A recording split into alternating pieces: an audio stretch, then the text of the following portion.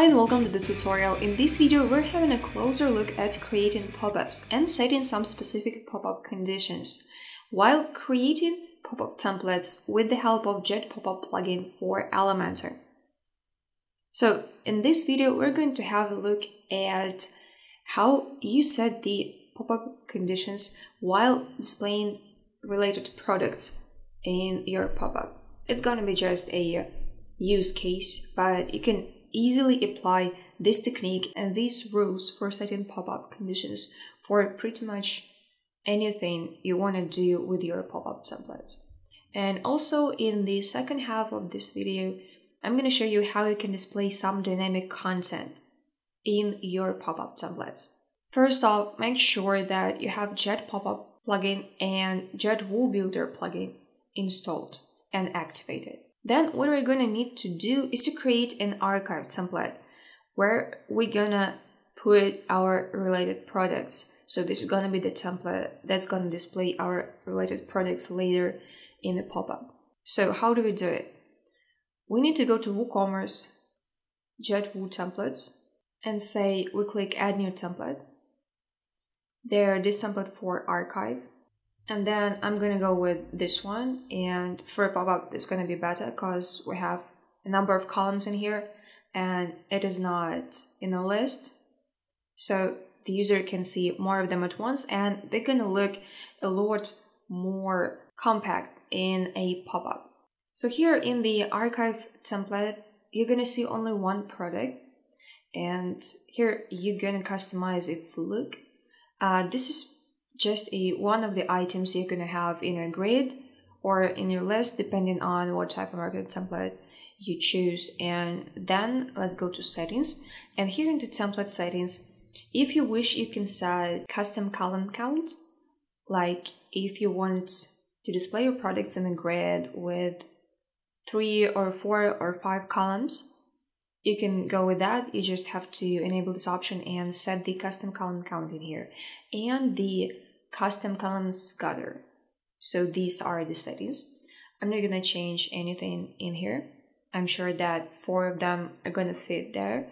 But if you feel like you need fewer columns, you can easily do it here. So that's pretty much that for the archive template and let's click publish.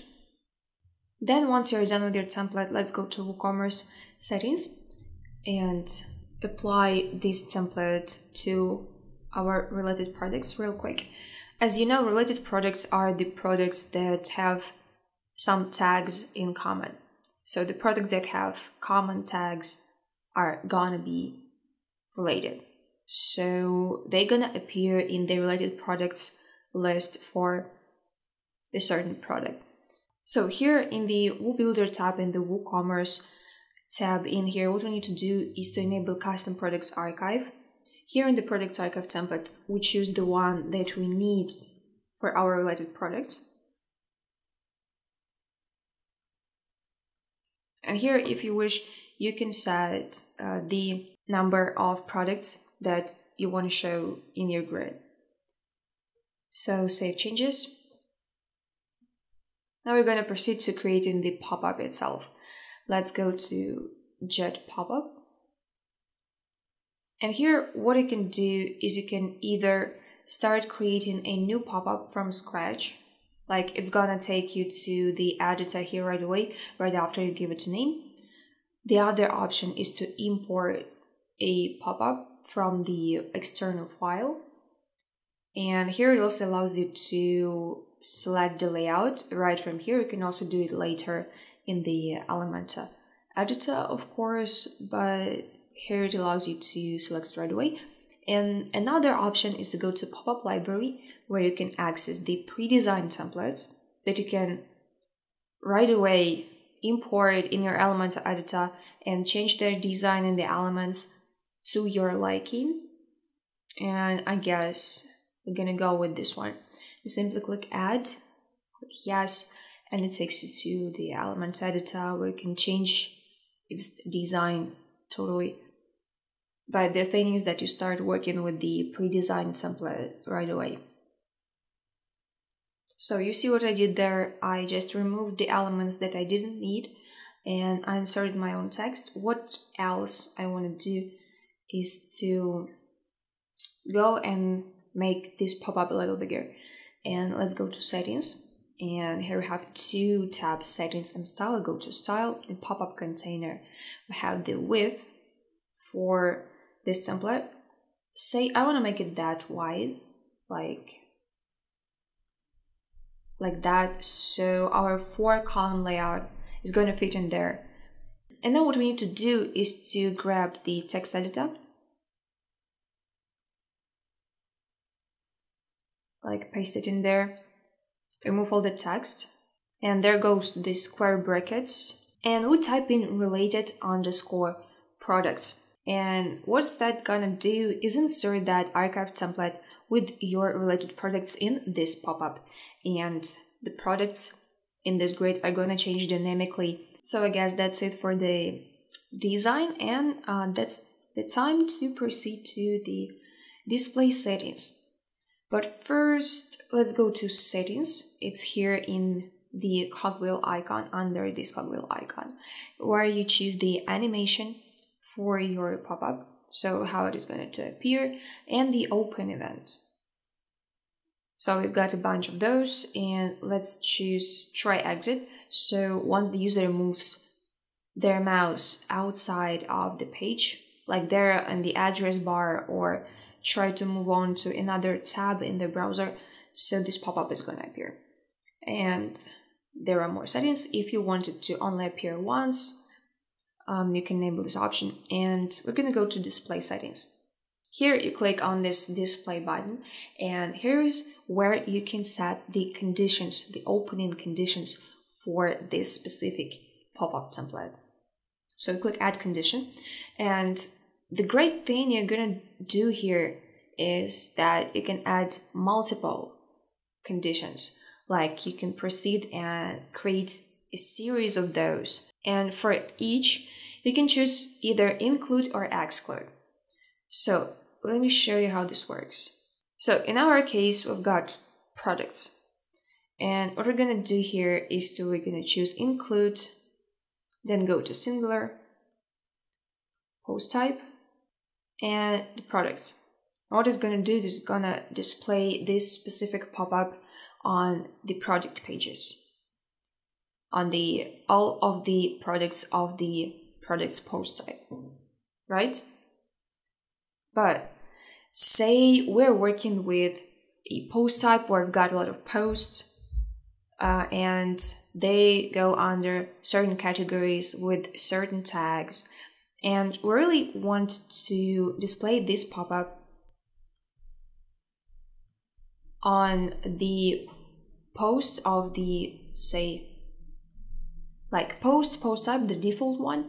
But you really don't want to see this pop up on some posts of this post type like posts from certain category or posts from certain tags or posts you know based on some hierarchy etc like if you choose posts from category and then you pick the category like colors and this pop-up is not gonna appear on the posts that go with the category colors if you set it to exclude so you see how this works. If you choose include, the pop-up is going to appear on the set pages or posts. And if you choose exclude, the pop-up is not going to appear on the posts or pages that you set. Right? So now let's go back to our specific case. So let's set edit products and click save. So now we have set it so this little notification says that our progress has been saved. Don't be worried that here in the pop-up editor uh, you do not see any related products appearing because as you know this grid with your related products is going to appear based on the tags that your products have in common.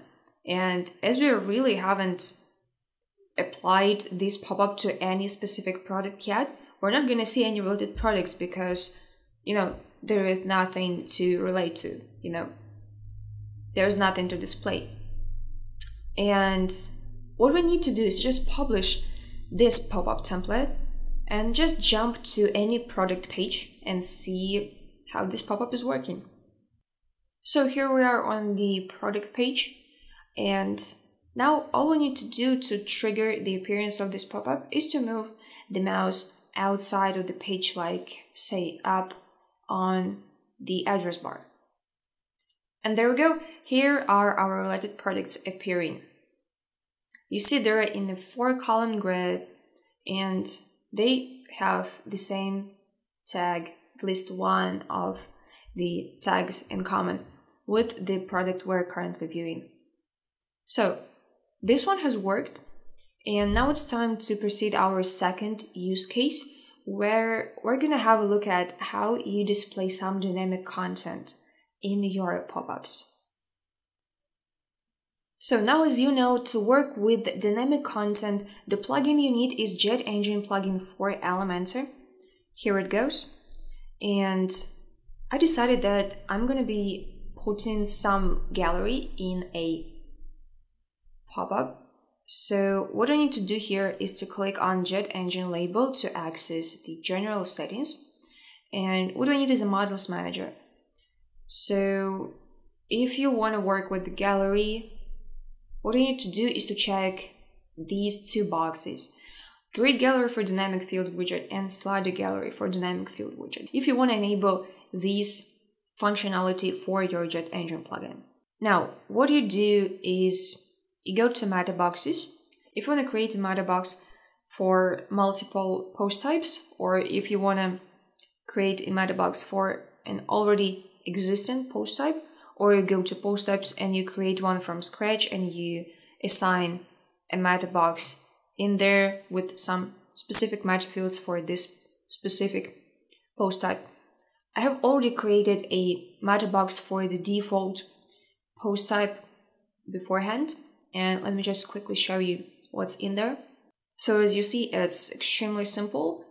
We've got the meta box for posts and what it's got is the title name, and the type set to gallery. Alright, that's it you need. Then in the post post type, you select the post that you want to add it, that you want to add a gallery to. Like here, I just chose the images that I want to show for this specific post type. Now let's go to Jet Pop-up. And as I've said, you can go with any of these options or as I do, you can use the library and say, let's go with this one this time. So what I did there is I again changed some of the elements that I didn't need anymore and I put my own in there. And for now, to apply some dynamic content, we need some jet engine widgets. And those are these um, that have the dynamic word in them. So they allow you to work with dynamic content. And I need dynamic field to display some data from the meta fields. So in the source, we choose metadata, and here we type in the name of the meta field. In our case, it was gallery. Now to display the images from the gallery, we need to filter field output. We need to enable filter field output option and in the callback, it's gonna be images gallery grid. So here select the number of columns, the size of the images, and whether or not you want to use a lightbox. Now in the style, in order to customize the look of your gallery grid, you go to miscellaneous and you see that you can increase the images gap. You can set the image overlay, the hover overlay color, and the icon color for the lightbox. And what else I want to do is to add some margin. Okay, this should work now, except one little thing. What we need to set is the opening conditions and display settings. So in the open event, let's choose try exit again. In the display settings, click add condition, include singular, post type, and here post. Like then we click save. and we publish this pop-up template. And what we do now is we go to the post that we added our dynamic gallery to, and we try to exit the page. And once we do, we see our gallery appearing right away. And these are those exact images that we set in the dynamic gallery in that meta field for this specific post. And this is how it works with the dynamic content. So now you know how to work with the opening conditions for pop-up templates that you create with Jet pop-up plugin for Elementor. I hope this video was useful. Thank you so much for watching.